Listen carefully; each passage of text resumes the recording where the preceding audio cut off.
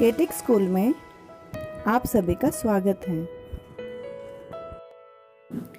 गरम गरम लड्डू सा सूरज लिपटा बैठा लाली में। सुबह सुबह रख आया कौन? इसे आसमान की थाली में। मूंदी आँख खोल कलियों ने, चिड़ियों ने गाया गाना। गुनगुन करते भवरों ने खिलते फूलों को पहचाना। तभी आ गई फुदक फुदक कर एक तितलियों की टोली। मधुमक्खियों ने मधुरस लेकर भर डाली अपनी झोली। उठो उठो, हम लगे काम, तब आगे बढ़ पाएँगे। वे क्या पाएँगे जीवन में जो सोते रह जाएँगे? सुप्रभात बच्चों, आप सबका दिवस शुभ जाए। जो आज कौन सा दिवस है? बिल्कुल सही, आज हिंदी दिवस है। चौदह सितंबर, ये हिंदी दिवस होता है।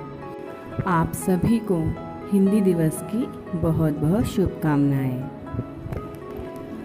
हमारे केटिक स्कूल में हिंदी दिवस हिंदी सप्ताह के रूप में बड़े ही उत्साह के साथ मनाया जाता है।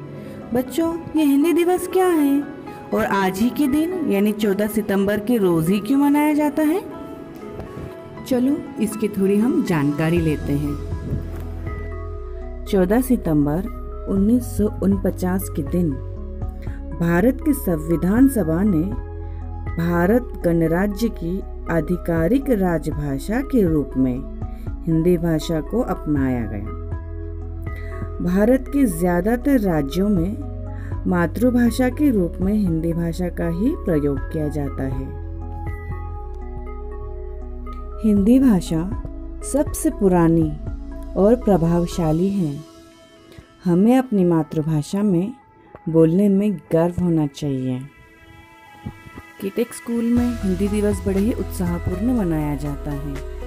आप तो ये सब जानते ही हैं। हिंदी दिवस के रोज़ हमारे अध्यापिकाएँ हिंदी दिवस के बारे में आपको जानकारी देते हैं और आपको भी मंच पर आने का मौका दिया जाता है। और अलग अलग तरह के कार्यक्रम यहाँ आयोजित किए जाते हैं, जैसे वक्तृत्व स्पर्धा, नाटिका, कविताएँ बोली जाती हैं। हिंदी दिवस के इस समारोह में हम एक प्रण लेते हैं कि हम आज के दिन, यानी 14 सितंबर के दिन हम हिंदी में ही वार्तालाप करेंगे।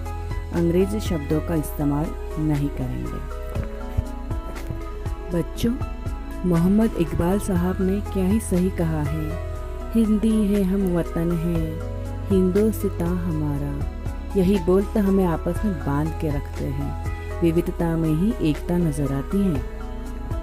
पुनः रूप से आप सभी को हिंदी दिवस की शुभकामनाएँ। धन्यवाद।